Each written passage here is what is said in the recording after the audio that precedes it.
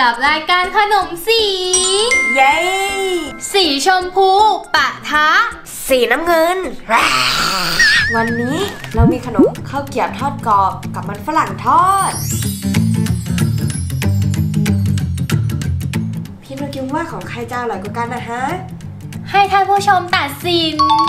มา เรามาเริ่มกันเลยกับข้าวเกรียบทอดกรอบช้อน ของหนูเป็นรสหมึกสามรส ส่วนของพี่รสเหมาะกับปิ่นมุกเลยนะ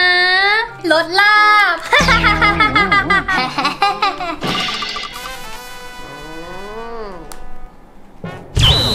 เฮ้ย เกือบโดนพี่เลยอะปิ่นมุก เจ้าดูถูกข้าเหรออ่า พอเธอปิ่นมุก เรามาแกะกันเลยลูกแกก่อน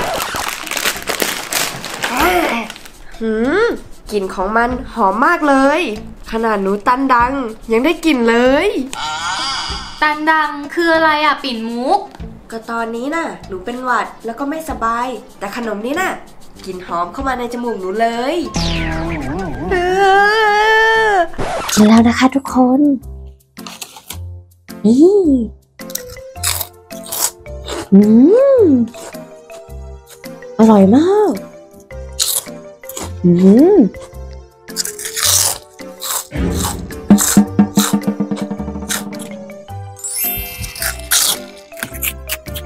หืม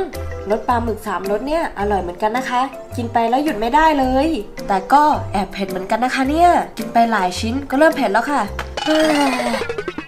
มาของพี่นะปิ่นมุกรสลาบ มา แกะแล้วนะคะทุกคน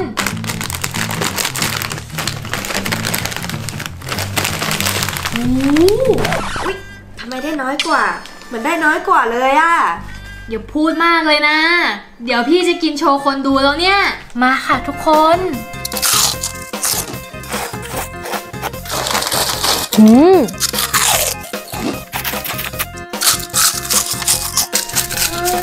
พี่นกยุงทำไมกินน่าเกลียดจังเลยอะ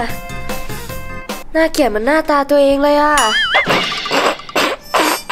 รสลาบเนี่ยก็รู้สึกว่ามันเหมือนลาบจริง ๆนะคะ มีความเปรี้ยวๆด้วย ถ้ากินหลาย ๆคำวัตถุดิบมันถึงเครื่องมากๆเลย เพื่อนๆ ก็ลองไปคิดดูนะคะ ว่ารสลาบหรือว่ารสหมึกสามรสจะอร่อยกว่ากัน ต่อไปมันฝรั่งทอดกรอบ รูปทรงบ้องบ้องบ้องบ้องบ้องของปิ่นมุกรสอะไรอะ ของหนูรสมันฝรั่งทอดกรอบรสชีสเบอร์เกอร์ ส่วนของพี่ตะยุง สีชมพูรสกุ้งกระเทียม กุ้งกระเทียม สไตล์สเปน มา มาแกะกันเลย หูได้เยอะเหมือนกันนะทุกคน มา ได้เวลากินแล้ว จัดไปเลยค่ะคำโตโต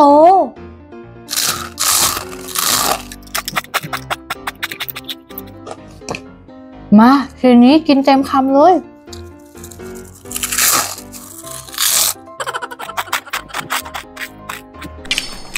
ว้ายน้ำแน่